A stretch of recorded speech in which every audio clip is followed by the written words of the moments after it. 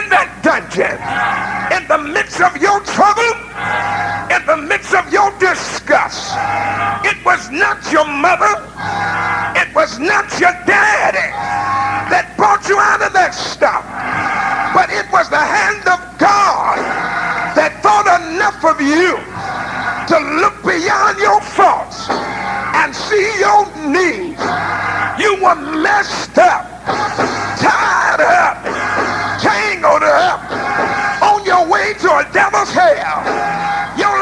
was in a shambles. You were miserable.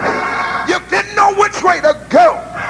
You had nobody to help you. And the company you were keeping were keeping you messed up and tied up in that stuff.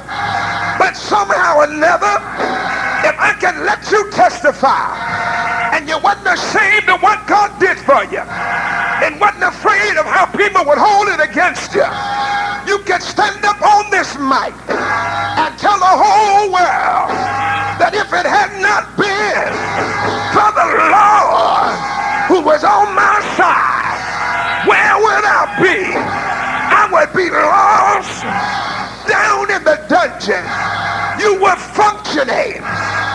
were still hooked.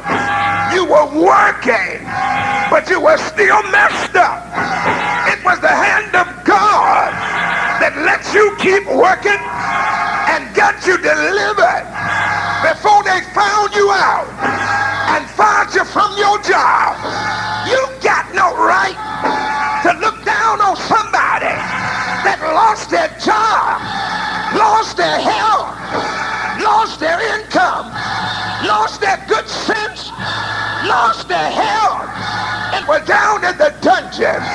You ought to be the first one to be like the man that saw the man wounded lying in the street. The priest walked past him. They walked past and looked at him. Went to the other side. But a Samaritan, a man that was considered nothing, considered nobody, the scum of the earth, religiously speaking, they thought they weren't nobody. But the Samaritan saw the man wounded, picked that man up, patched his wounds up, put him on his horse, and took him to the inn, fixed him up, fed him, then told the innkeeper, here's some money, take care of him, and if he's done anything, if there's any bills left over, put it on my account. When I come back, I'll pay you in full. I'll stop by to tell you on this Sunday morning, whatever your dilemma, whatever your situation, you're in the right place at the right time. God will deliver you. There's nothing that God cannot do. There's no habit that the Lord can't break. There's no mountain that the Lord can't move. There's no disease that the Lord can't heal. There's no dilemma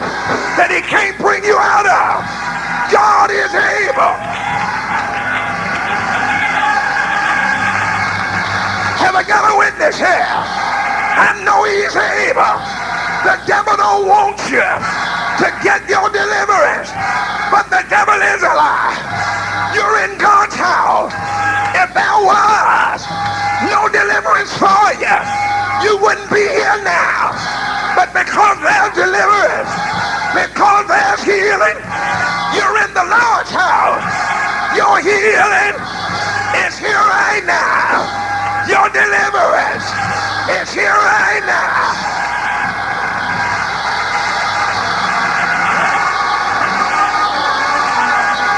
Have I got a witness here? Tell somebody I am delivered by the power of God.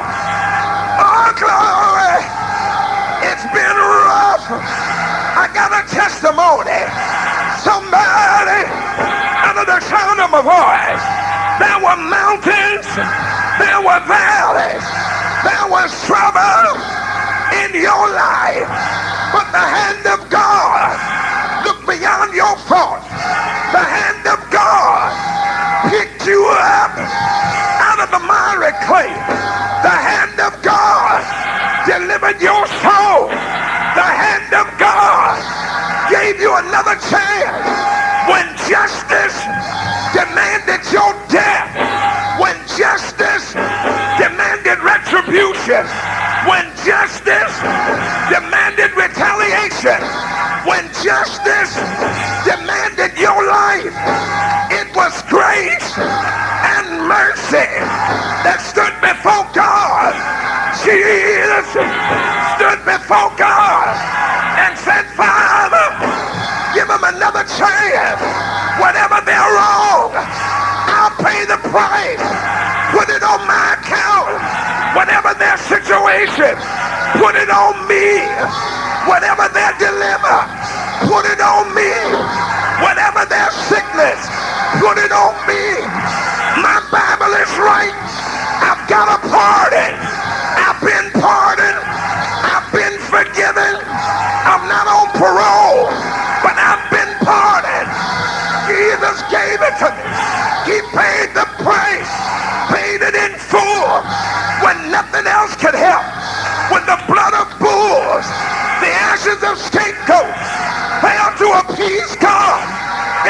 Jesus, the Lamb of God.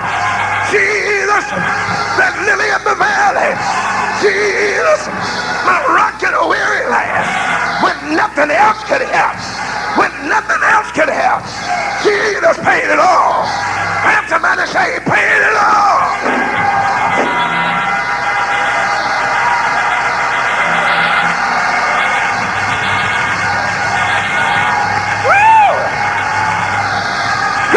Somebody say, I've been forgiven. Give them a hug and say, I've been forgiven.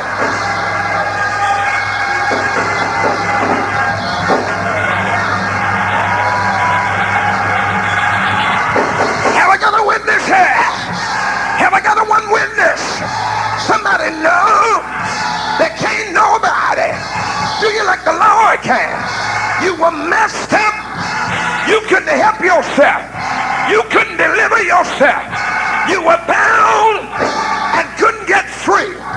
You were in prison. The devil passed sentence on you because you sinned.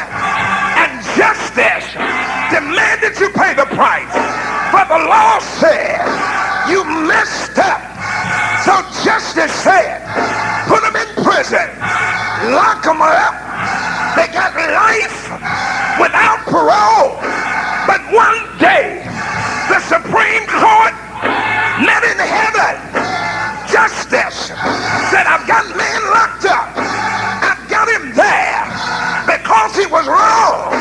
But the law says, if a man is wrong, if the Supreme Court pardons that man, it's the president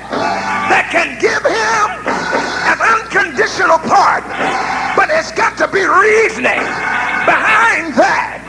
The Supreme Court met in heaven 2,000 years ago. Justice stood before God and said, man has sinned. He's locked up and can't get free. But mercy stood up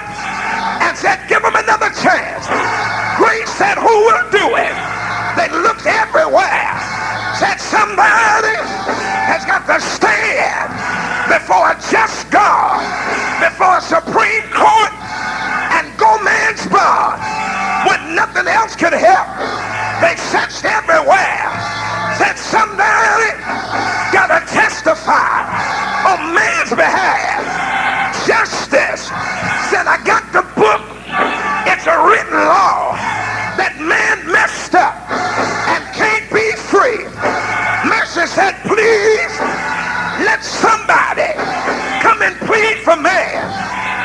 Can we get? Abraham, will you testify? Abraham said, I'm sorry, but I'm locked up too because I lied. Said my wife was my sister, but she was really my wife. Said, I can't help you, Mercy. Mercy said, call Jacob. Jacob said, I'm sorry, but I can't help you. I stole my brother's birthright. I'm in prison myself. Said, what about Isaiah? What about Isaac? Isaac said, I'm sorry, but I'm not good enough. I'm in the same boat with Abraham and Jacob. Said, who can we get? David said, I'm sorry. I can't help you. I did wrong myself. Said, who will go? Can I get anybody? From behind the throne came a lamb that was slain before the foundation of the world and said, Father, prepare me a body. Father, let me go.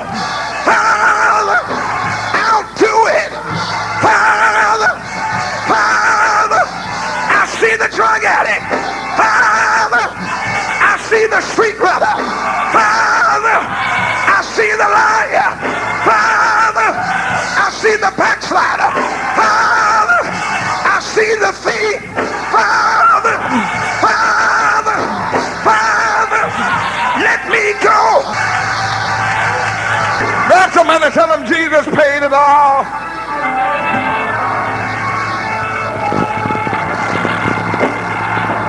Jesus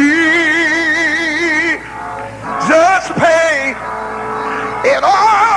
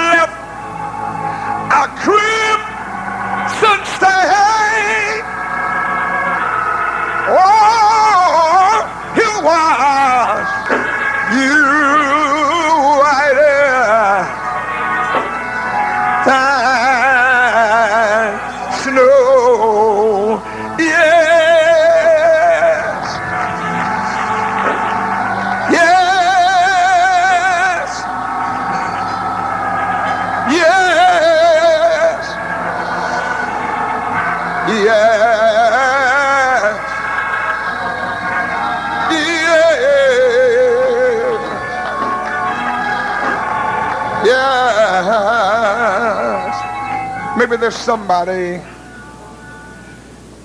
that don't know you've been pardoned.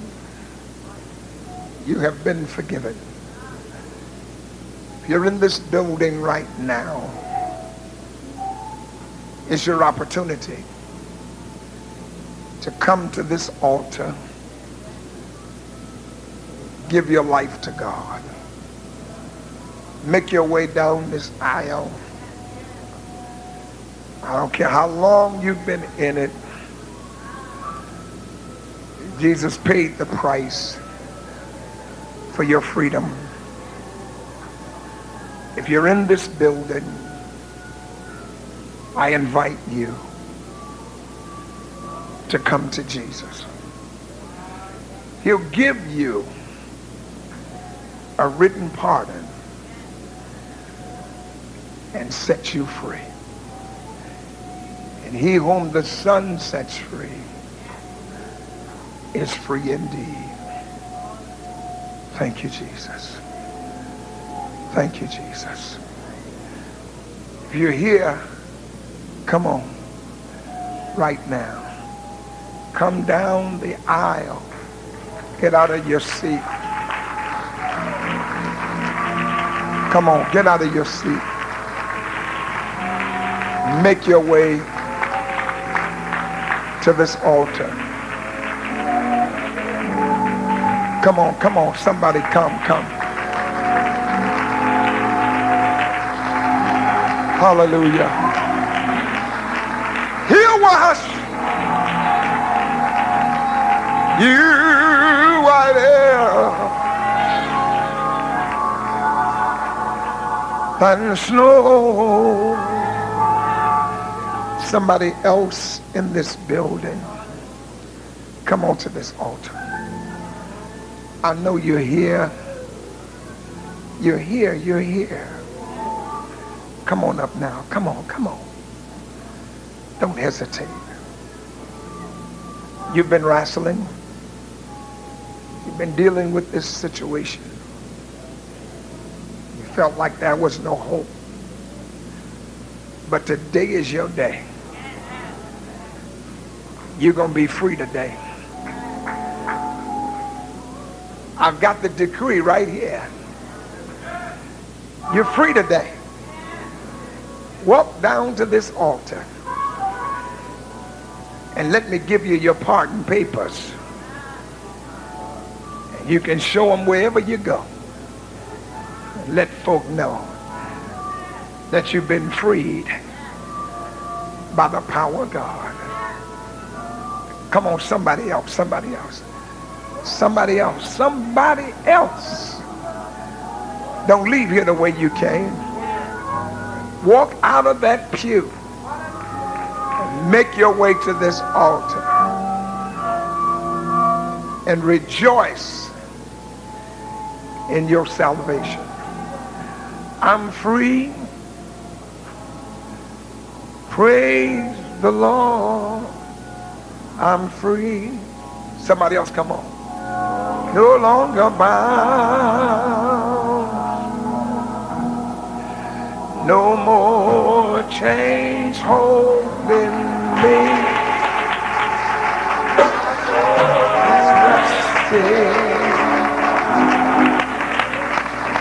It's just a blessing.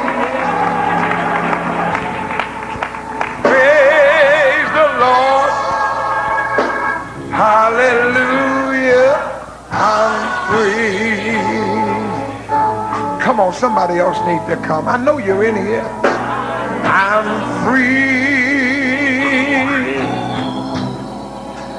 Praise the Lord. I'm free. No longer bound. Come on, come on. No more chains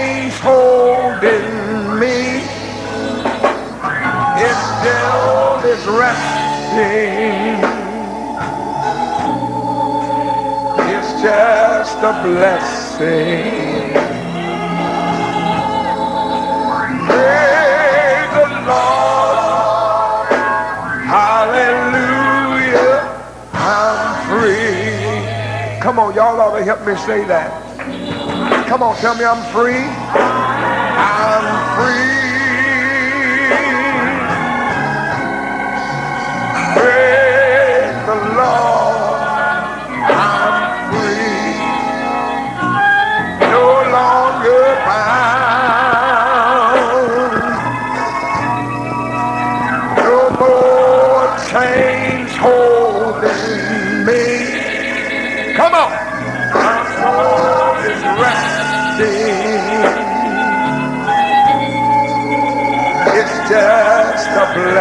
Maybe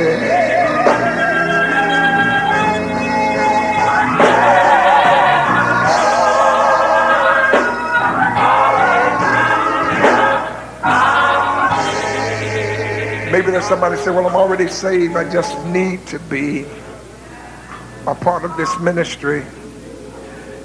If you're here, come on down now. Come on. The Lord has spoken to you to be a part of the ministry. Come on now. Praise God. A whole family. Come on. Oh, chains holding me. soul resting. Come on, somebody else, somebody else. Come on, come on.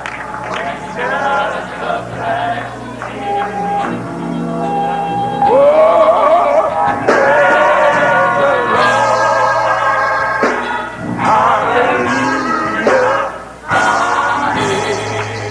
Somebody else, somebody else. Come on, come on now. You're free now.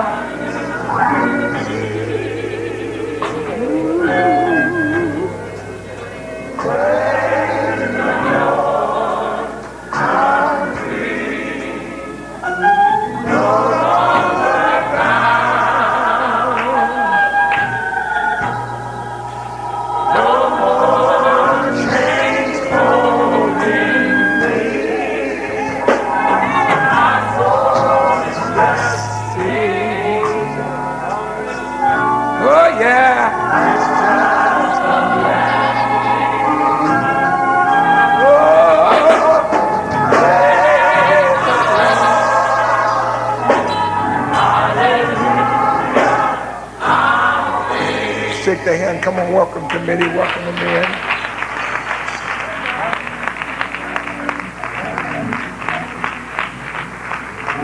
Take your seat for five minutes.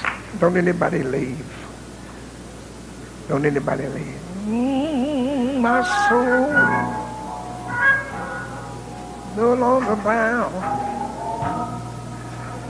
No more chains holding me. Resting. It's just a blessing.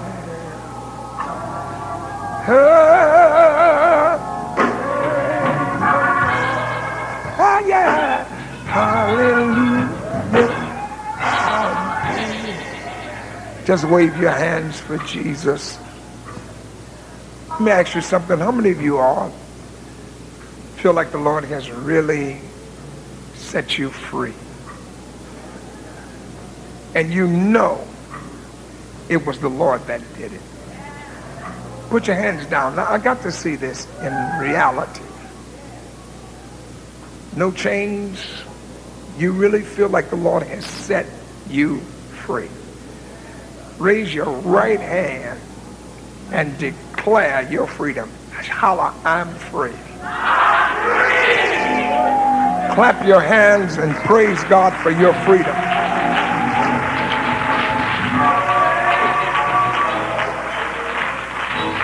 Hallelujah.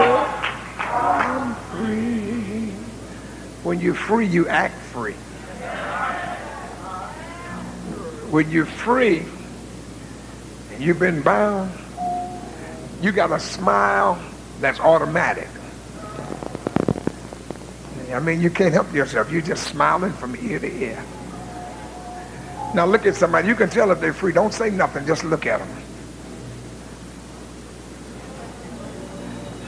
Now, if they didn't smile, they ain't free. They still messed up. If they free automatically, they can't help it. They can't help it. Have you ever looked at some folk and they just be staring at you? Just staring at it. And if their eyes could talk, they would just, just tell you off good fashion. And they just be staring at you. No smile, no nothing, just staring. And then you look at them, and you turn around and look at them, and you so full of love, you look at them, and you know they looking at you like that. And you just look at them when you know they're looking at you just try to look at them and say, bless you.